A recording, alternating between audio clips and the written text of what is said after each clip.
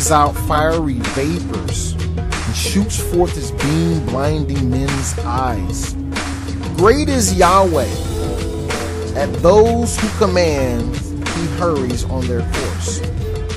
The moon, too, he places in its position at its season to mark times and be an everlasting sign. The moon gives the sign for the festival, a light that wanes after reaching the full. The month is named after her.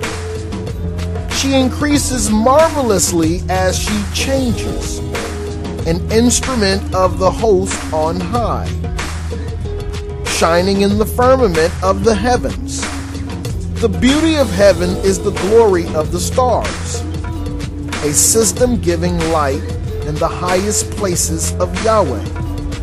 At the command of the Holy One, they take their places as He decrees, and they will not fail in their watches. See the rainbow and bless Him who made it, surpassingly beautiful in its brightness it curves over the heaven in a glorious circle. The hands of the Most High have stretched it out. By his command, he brings the hurrying snow and makes swift the lightnings of his judgment. Because of it, the storehouses are open, and the clouds fly out like birds.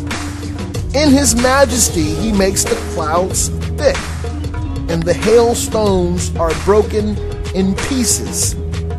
When he appears, the mountains shake.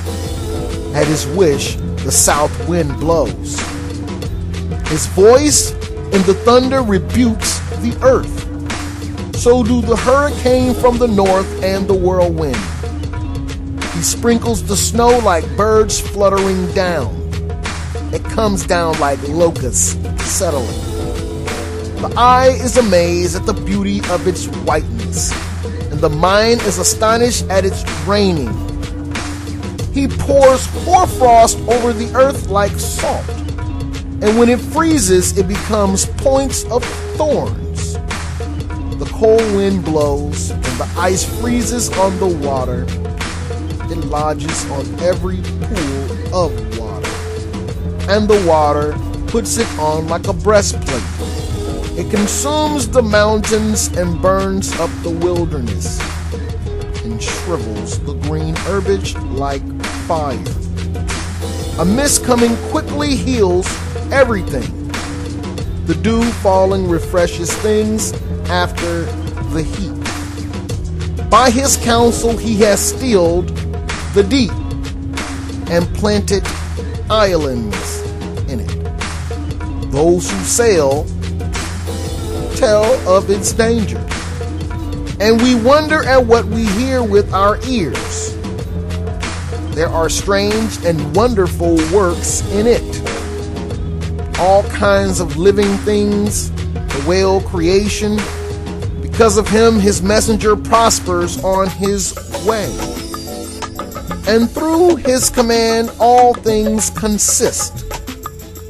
We may say more, but we will not reach the end. And the conclusion of what we have to say is He is the whole.